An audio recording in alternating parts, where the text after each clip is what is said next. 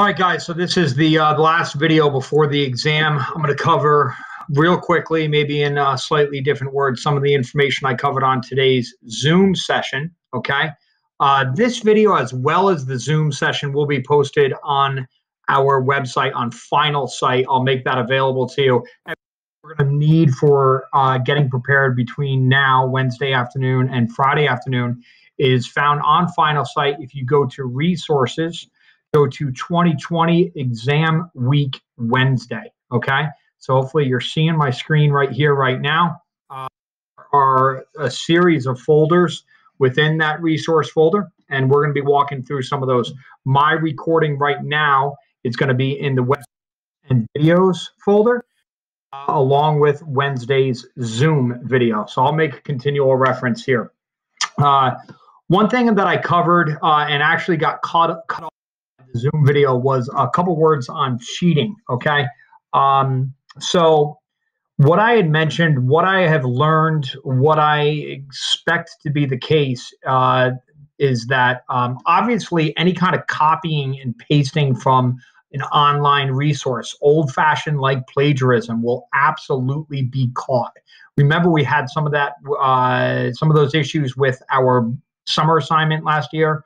Uh, I even saw it recently on some essays where people were lifting other people's words or lifting uh, words from a website resource. That will get caught. Okay, it gets caught in our Google Classroom originality reports. It gets caught on Turnitin.com. I can promise you the College Board will catch that.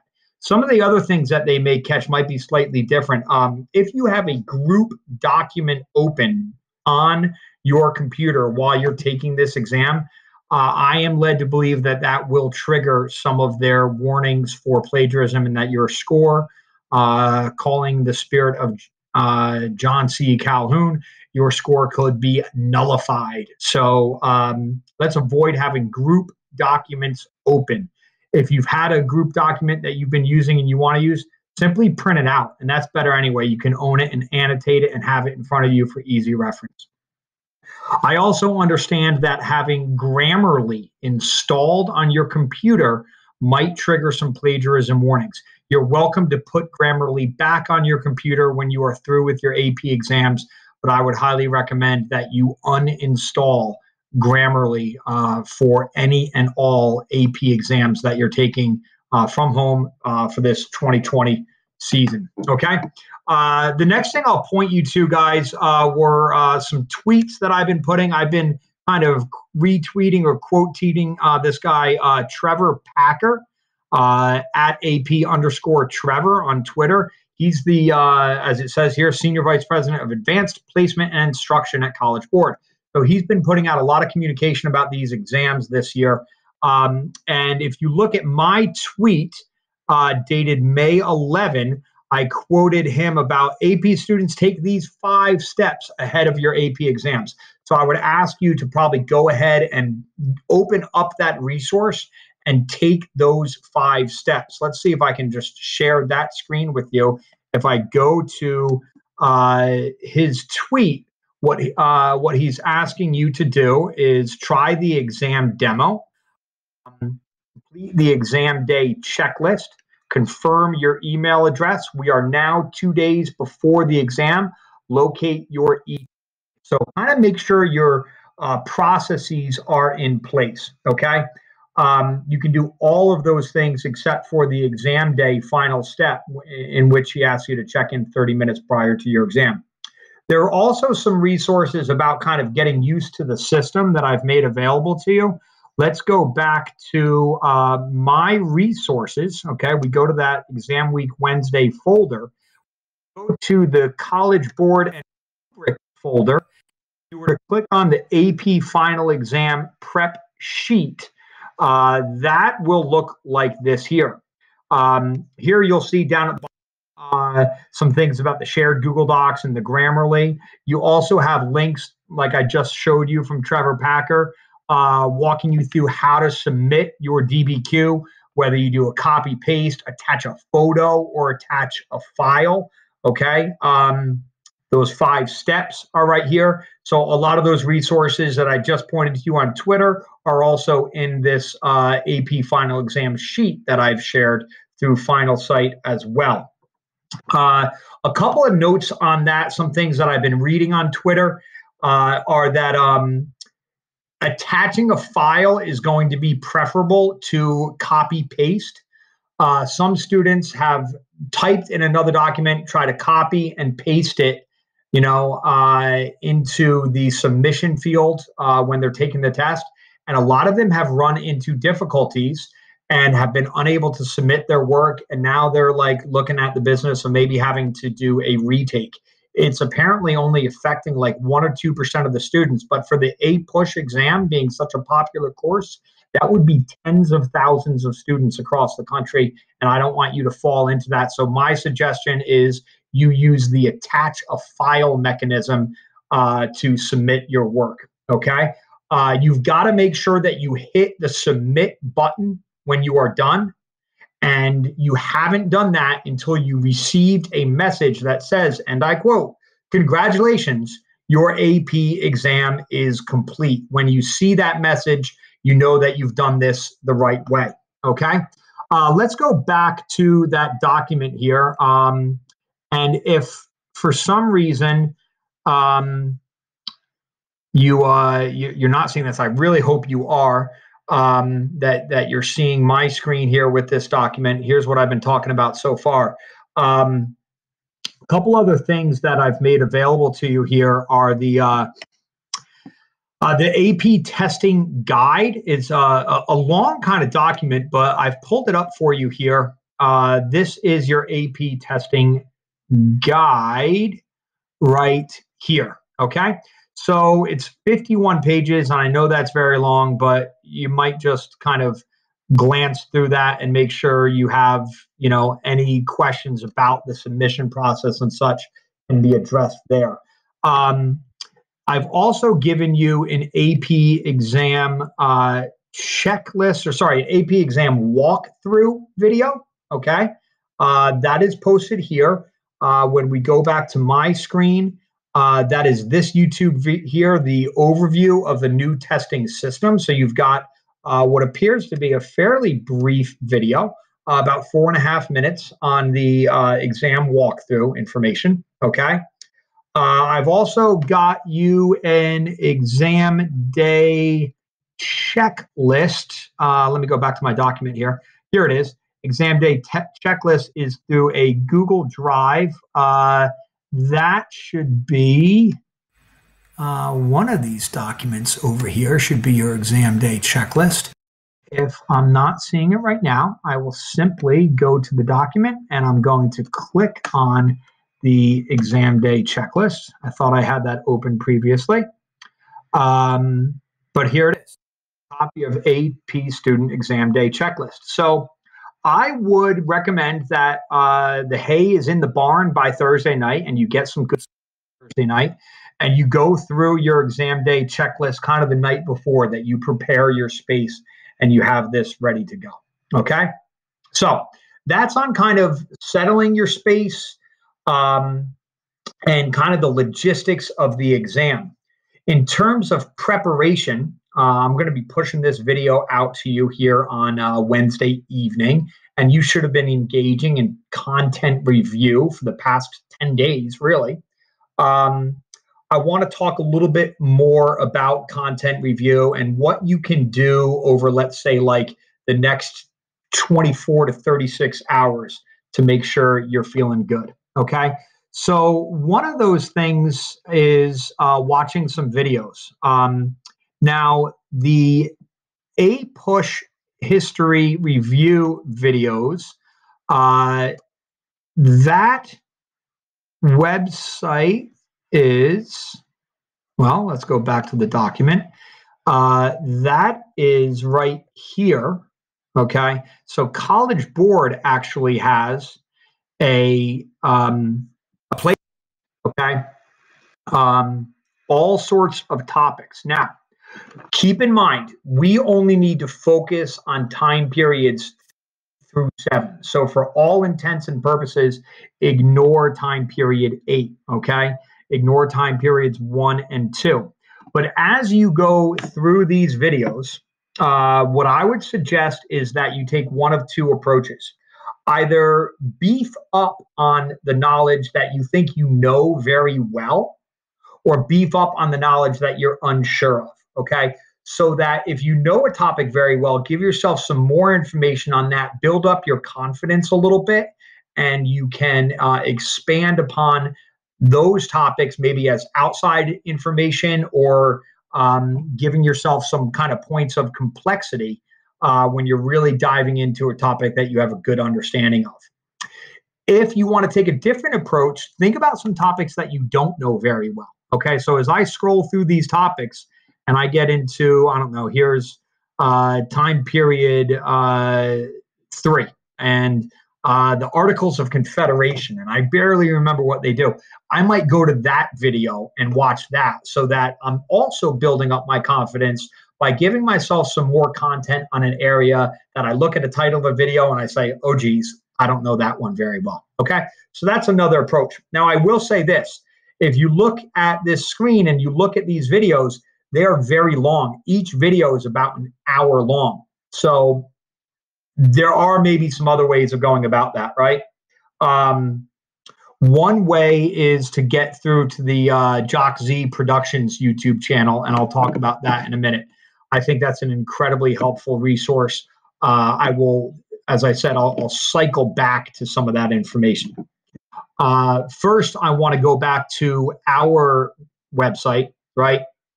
And when I'm in the exam week Wednesday folder, and I'm back at the college rubric, and I'm back at the AP final exam prep sheet that looks like this. Uh, some of the other resources, right? Because I've already talked about the top of the sheet, and the bottom of the sheet is where I opened up. Let's look at the middle of the sheet. They have a practice DBQ1 and a practice DBQ2. I don't know that I would necessarily advise you right now to sit down and write some practice DBQs. Here it is Wednesday night. Okay. However, I would definitely advise you to maybe check out these two DBQ prompts and documents, not banking on seeing a question of that topic on your exam on Friday, but getting used to seeing the format of these questions. Some of them are a little bit awkward. Okay. Let's take a look at this first one, for instance, because I'm not really ever in love with how they write these questions, language that they use. Uh, and on this topic right here, uh, they say our uh, prompt. Um, where was the prompt? Um, Well, I'm not seeing it actually on this sheet, um, but I did see it on the other one, okay, uh, where you're actually seeing the prompt itself. And the prompts are sometimes a little bit awkward. I'm going to go back into my document and see if I just find it easier with uh, DBQ2 here, okay? Um, let's see.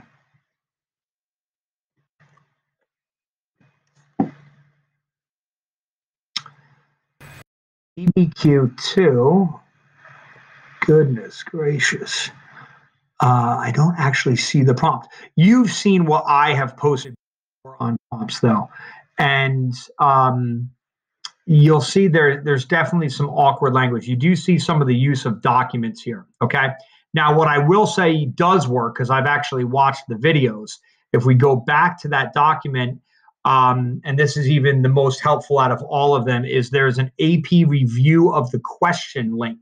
All right, so here we see, uh, you'll actually see what the prompt is there, and you'll see two College Board certified uh, senior teachers walk through the grading of these two DBQs. So you get yourselves in the minds of a reader a little bit, okay? But again, uh, that is this AP final exam sheet uh, that I have provided for you. I'll close down some of these windows uh, and point you out again to where we get that. Okay.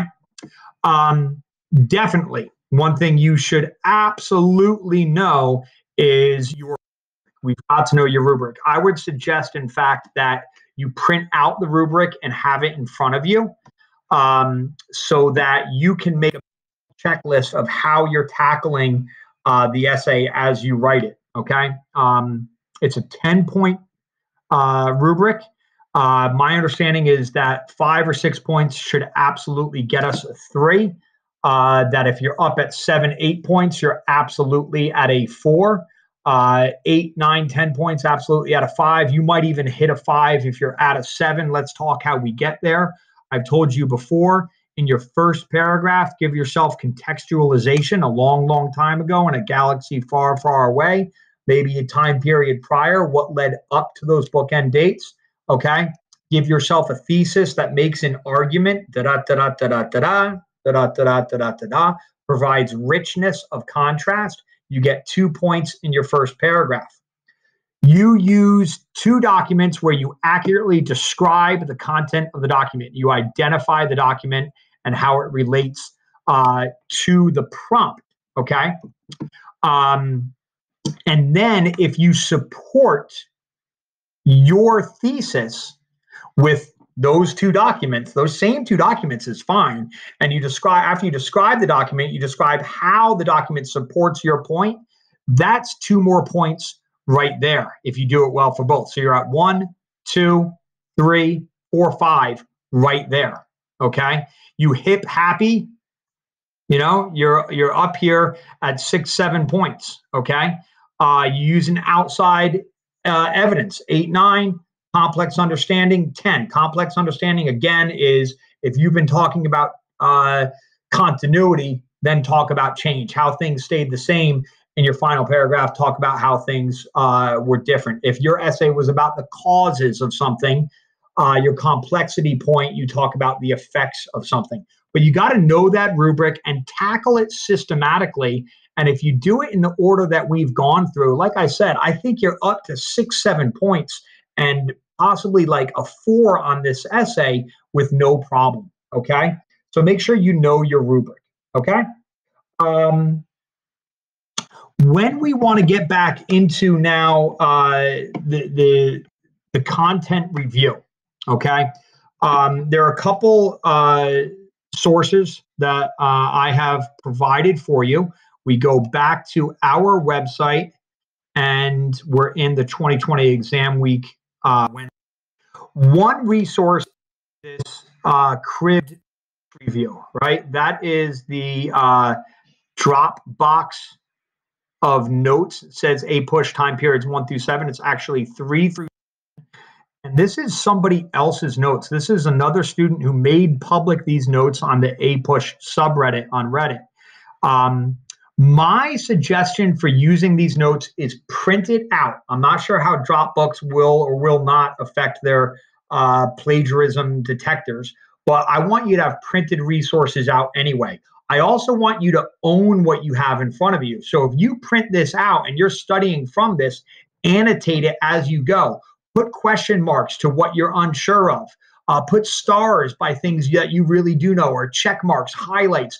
We thankfully spent a lot of time annotating. And here I'm actually asking you just to annotate a single kind of outline of notes. And if you have that in front of you, right, when you see the prompt, you're going to know where to turn to on these notes and you're going to see all the information in front of you and you're going to see what you own in front of you. Okay. So this is a really good resource to have in front of you on the day of the exam.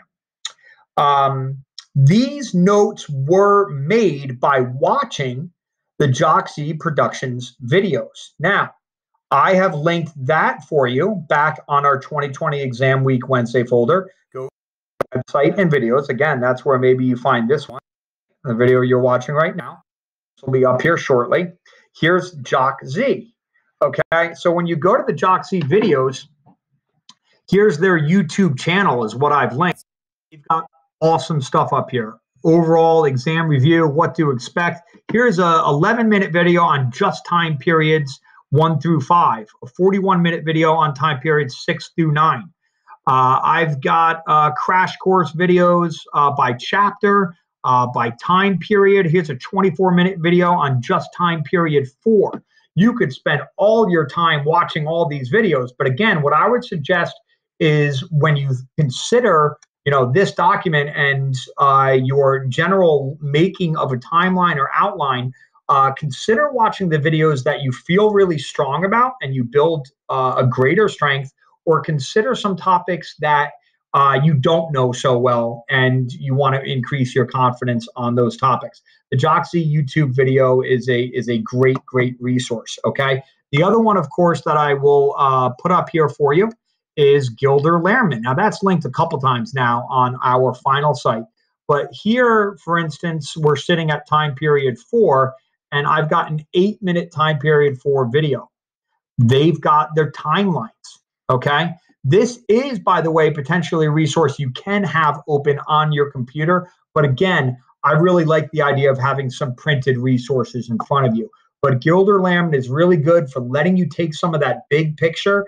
Um, the format of this test is great in that if you feel like, gosh, I can't recall the particular year of a proclamation or an act passed or the year that you know a war began or something like that you've got that information kind of at your fingertips. Okay. Um, so, again, in terms of studying, we've got the Dropbox notes, we've got JOCZ, we've got Gilder Lehrman. Okay. All of that stuff is here. Uh, Gilder Lehrman, JOCZ, this video and, and the Zoom as well here. But going back to the cribbed notes are there. So, a lot of like last minute kind of prep materials. Okay, and then as I said, the the next thing you want to do is make sure you're just kind of got your logistics away. The last thing you want to do is feel like on Friday you're scrambling for having any idea of what this is, exam is actually going to look like on your desktop. How am I going to submit it? Where's my AP ticket? Don't be scrambling 10 minutes for the exam to become comfortable on that. Okay.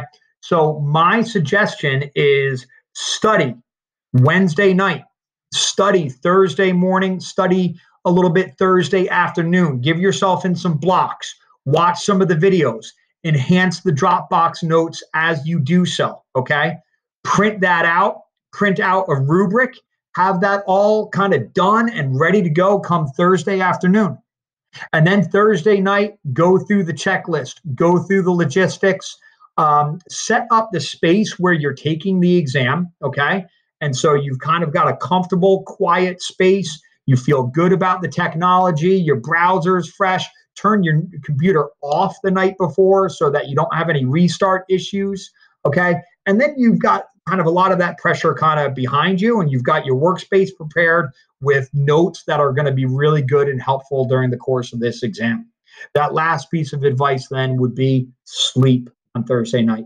Get a good meal, go to bed at a reasonable hour, uh, sleep in a little bit if you want. The, the exam's not until Friday afternoon, but then get up, get a workout in, okay?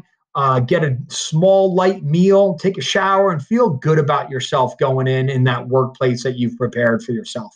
Um, I really, really believe that if you follow these steps between here, Wednesday afternoon and Friday afternoon, you all are going to be in a really good place to go kill this thing.